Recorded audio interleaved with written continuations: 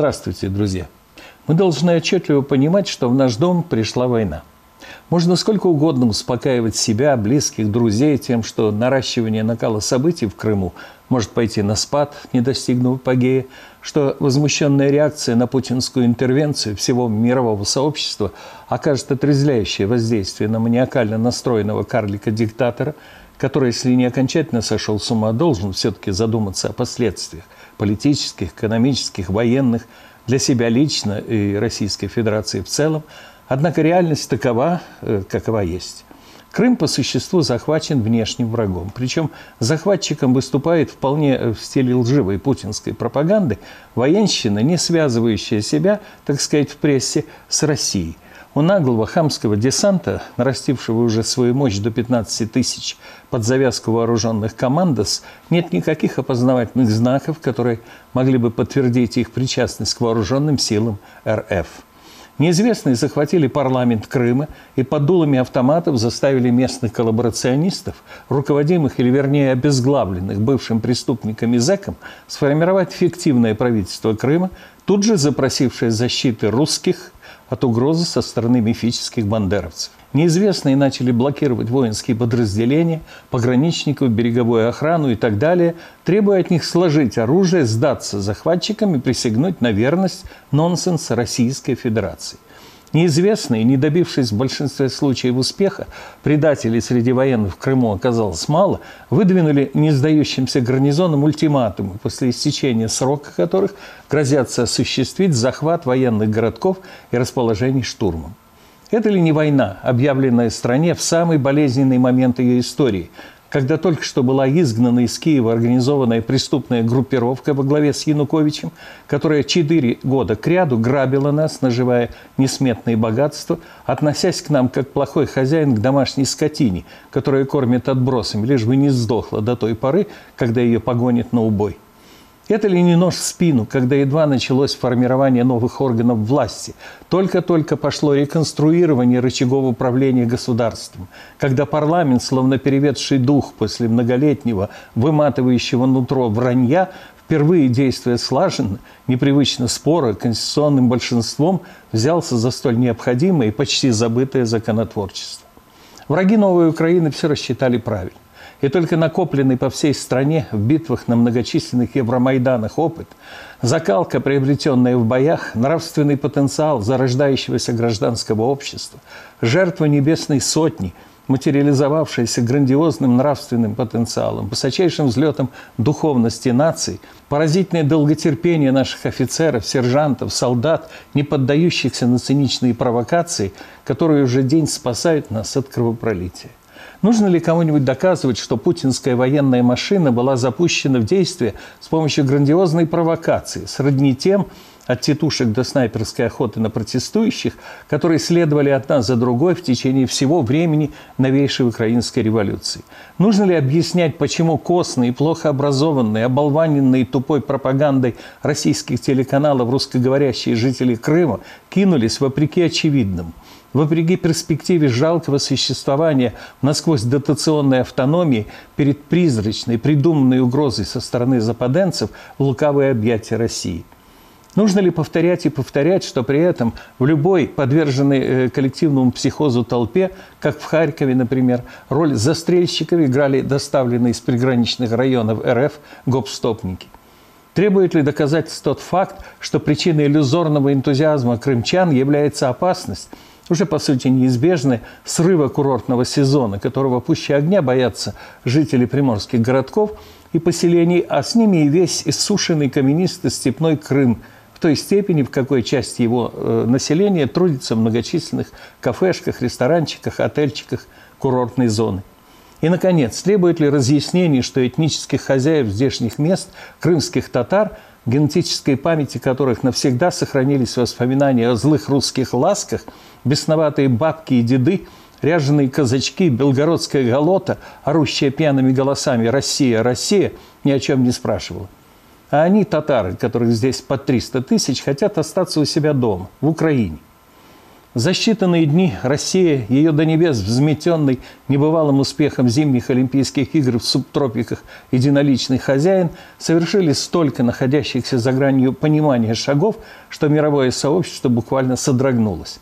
А то обстоятельство, что Путин с шизофреническим упорством мотивировал и мотивирует свои действия необходимостью защищать русскоязычное население Украины, заметьте, не только Крыма, но всей страны, от якобы грозящего его существованию беспредела, ссылаясь на сюжеты своего карманного телевидения и обращения межегорского преступника, вызывает у контрагентов по всему миру, от Барака Обамы до Ангелы Меркель, серьезнейшие сомнения в его душевном здоровье. России грозят финансовые и экономические санкции, полная политическая изоляция. Достаточно хотя бы отказа от саммита Большой Восьмерки в Сочи. Срыв Паралимпийских игр, трагическая и необратимая гибель легенды о русском мире. На маленький человечек, героический защитник стерхов, предводитель байкеров и строитель Олимпийской пирамиды, изображает из себя слепо-глухонемого. Я не буду предлагать вам неизбежных в данном контексте исторических справок.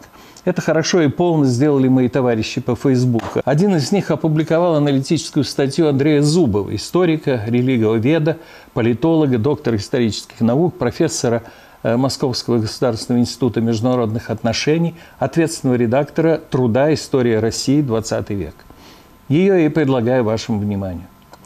Все это уже было. Австрия, начало марта 1938 год – Нацисты желают округлить свой рейх за счет другого немецкого государства. Народ не очень жаждет этого. Никто их не ущемляет, никто не дискриминирует. Но идея Великой Германии кружит голову радикалам, местным наций. Чтобы поставить точку в споре о судьбе Австрии, ее канцлер Курт Алаис фон Шушник объявляет на 13 марта плебисцит. Но нации и в Берлине, и в Вене это не устраивает. А вдруг народ выскажется против аншлюса? Канцлера Шушнига заставляет подать в отставку 10 марта. На его место президент назначает лидера местных нацистов Артура Зейс Инкварта. А германские дивизии уже входят тем временем в австрийские города по приглашению нового канцлера, о котором он сам узнал из газет. Австрийские войска капитулируют. Народ или восторженно встречает гитлеровцев, или в раздражении отсиживается по домам, или срочно бежит в Швейцарию. Кардинал Австрии и Ниццер приветствует и благословляет аншлюз. С 13 марта начались аресты. Канцлер Шушник был арестован еще накануне. Плебисцит провели 10 апреля. В Германии за объединение с Австрией проголосовали 99,8%, в самой Австрии, ставшей Остмарк Германской империи, 99,75%. 1 октября 1938 года также были воссоединены с единокровной Германией чешские судеты – 22 марта 1939 года Литовская область Клайпеды, превратившаяся в один день в немецкий Мемель. Во всех этих землях действительно жили большей частью немцы. Повсюду многие из них действительно хотели соединиться с гитлеровским рейхом. Повсюду это воссоединение прошло под фанфары и крики ликования обезумевшей в шовинистическом угаре толпы при попустительстве Запада. Мы не должны обманывать, а тем более не должны обнадеживать малые и слабые государства, обещая им защиту со стороны Лиги наций и соответствующие шаги с нашей стороны, говорил Невиль Чемберлен в британском парламенте 22 февраля 1938 года, поскольку мы знаем, что ничего подобного нельзя будет предпринять. И совсем иное говорил Адольф Гитлер 23 марта 1939 года с балкона на Театральной площади только что присоединенного Мемеля. За два часа до этого он театрально вплыл на борту новейшего линкора «Германия» в Мемельский порт.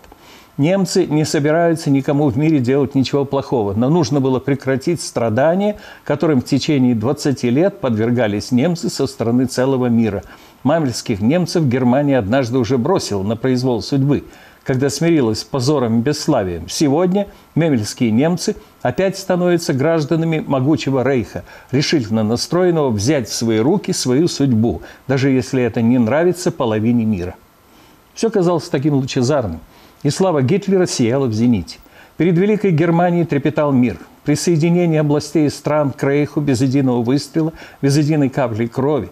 Разве фюрер не гениальный политик? А через шесть лет Германия была повержена, миллионы ее сынов убиты, миллионы ее дочерей обесчещены, ее города стерты с лица земли, ее культурные ценности, копившиеся веками, превратились в прах. От Германии были отторгнуты две пятых территории, а оставшееся разделено на зоны и оккупировано державами-победительницами. И позор, позор, позор покрыл головы немцев. А все начиналось так лучезарно. Друзья, история повторяется. В Крыму действительно живут русские. Но разве кто-нибудь притеснял их там? Разве там они были людьми второго сорта, без права на язык, на православную веру? От кого их надо защищать солдатам российской армии? Кто нападал на них? Вот войск иностранного государства на территории другого государства без его разрешения – это агрессия. Захват парламента лицами в униформе без опознавательных знаков – это произвол. Принятие каких-либо решений парламентом Крыма в таких обстоятельствах – фарс. Сначала парламент захватили, премьера сменили на пророссийского, а потом этот новый премьер попросил у России помощи, когда помощники уже тут, уже день как контролируют полуостров как две капли воды, похожие на аншлюз 1938 года. И даже референдум плебисцит через месяц под дружественными штыками. Там 10 апреля, здесь 30 марта. Просчитала ли российская власть все риски этой невероятной авантюры? Уверен, что нет. Как и Адольф Алаизович в свое время не просчитал. Просчитал бы, не метался бы по бункеру в апреле 1945 года под русскими бомбами, не жрал бы ампулу с ядом. А если Запад поступит не как Чемберлен с Даладье в 1938-м, а введет полное эмбарго на закупки российских энергоносителей и заморозит российские авуары в своих банках, российская экономика, и так агонизирующая, рухнет в три месяца.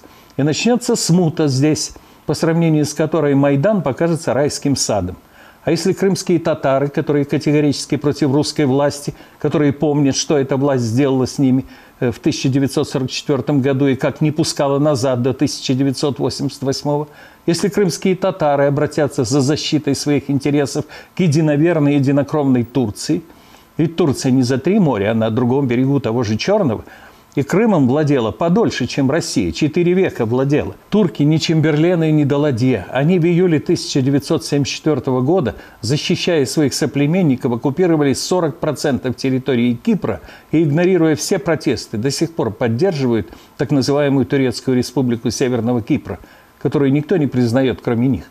Может быть, кому-то хочется иметь Турецкую республику Южного Крыма – а ведь если горячие головы из крымских татар поднимутся на борьбу, то мусульманские радикалы со всего мира с радостью присоединятся к ним, а в особенности с Северного Кавказа и Поволжья.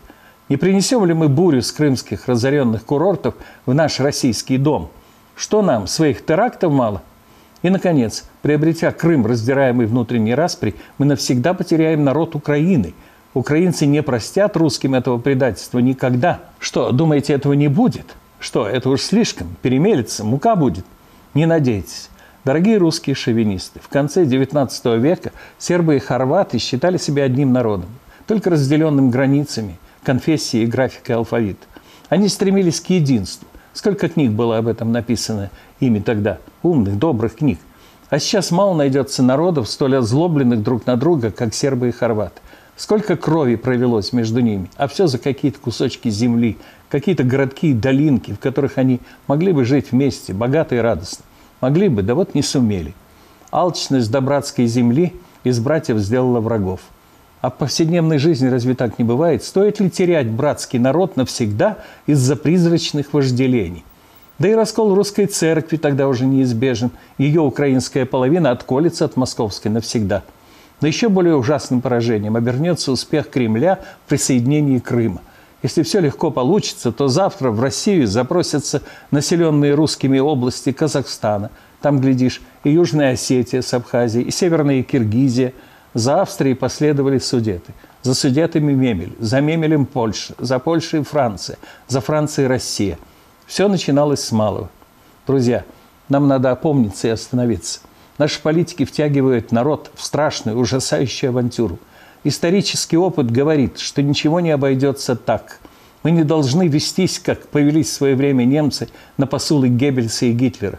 Ради мира в нашей стране, ради ее действительного возрождения, ради мира и настоящей дружественности на пространствах России, исторической, разделенной ныне на многие государства, скажем «нет» этой безумной и, главное, совершенно ненужной агрессии. Мы потеряли столько жизней в 20 веке, что единственно верным нашим принципом должен быть принцип, провозглашенный великим Солженицыным – сохранение народа.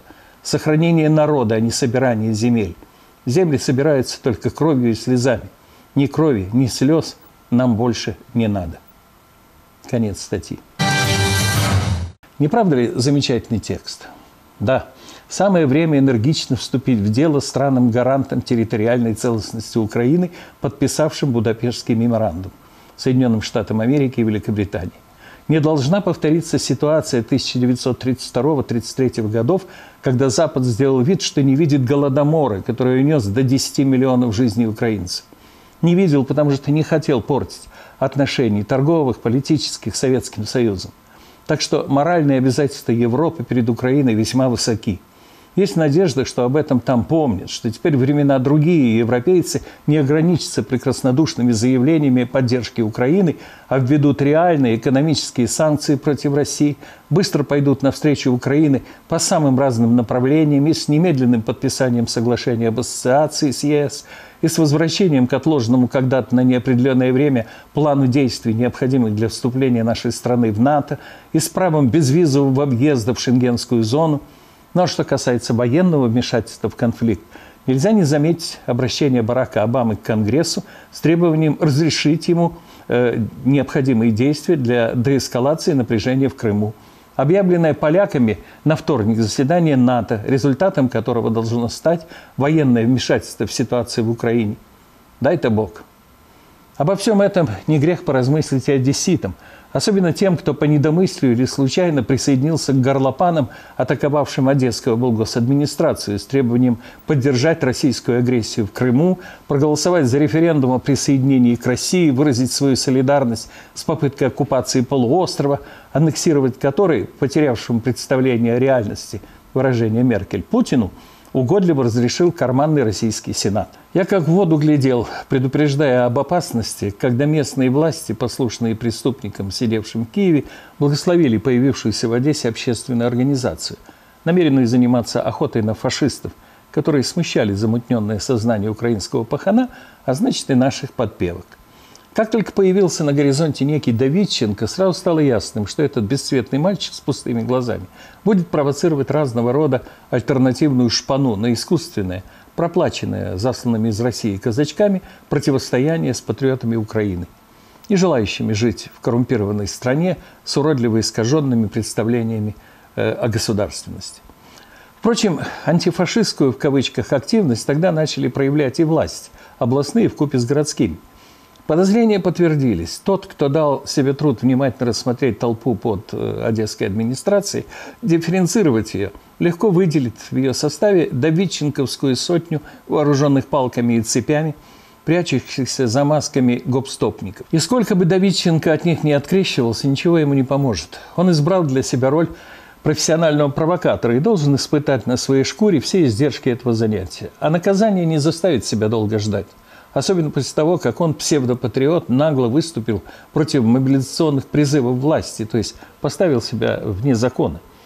При этом, когда пытаются упрекнуть новую украинскую власть в том, что захват по всей стране э, госадминистрации активистами Евромайдана ничем не отличается э, по форме от попыток их захвата на востоке и юго-востоке страны всевозможными антимайдановцами, сейчас следует раз и навсегда поставить все точки над «и». Революционеры, захватывая оплоты воровской власти, пытались уничтожить э, зэковский режим. Нынешние антимайдановцы пытаются этот свергнутый народом режим, а в этом смысле Путин тождественен Януковичу, возвратить, реставрировать, снова ввергнуть нас в растительное состояние.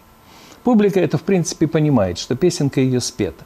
Когда по Одессе идет многотысячный марш Евромайдана, ее и не видно – она по определению труслива и осторожна. Лишь там, где этой банде противостоят пожилые люди, женщины, дети, она чувствует себя хозяином положения. Однако здесь, в Одессе, ее песенка спета. Уже изгнан клинически опасливый, невыразительный, как сам Путин, Скорик. На его место пришел другой, куда более решительный, поднаторевший в боях человек. И теперь наемным кликушем словословий в адрес агрессоров от областной власти вовек не дождаться. Мыльный пузырь русского мира лопнул, не оставив по себе следа. Легенда о вечной дружбе русского и украинского народов оказалась прекраснодушной болтовней. За исключением сотни другой честных людей, вышедших на улицы и площади Москвы с протестом против агрессии в Крыму, российский народ полным своим безмолвием одобрил путинскую авантюру. Этому народу, предпочитающему пребывать в рабском, униженном, бессловесном состоянии, и в голову, наверное, не пришло, что есть еще какие-то человеческие ценности, кроме бутылки на троих. А самозванец, завладевший древним Кремлем, именно потому вступился за нашего зэка, что сам мало отличается от него, что боится примера украинского сопротивления, спит и видит – как бы окружить себя такими же тусклыми, жестокими, садистскими диктатурами, как его собственные. И вот только рядом с ними он чувствует себя значительным и весомым. Хорошо, если Запад возьмет его в крутой оборот, и все действительно закончится миром.